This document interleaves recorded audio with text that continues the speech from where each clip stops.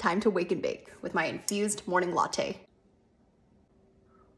It's really sunny today. Let's make this. Did y'all know that coffee is actually a substance that alters the mind? And plants are also a substance that alter the mind. So, why are they not treated the same? That's my question. And that's why I'm out here creating videos to help end the stigmas. I feel like I need to get some sunglasses.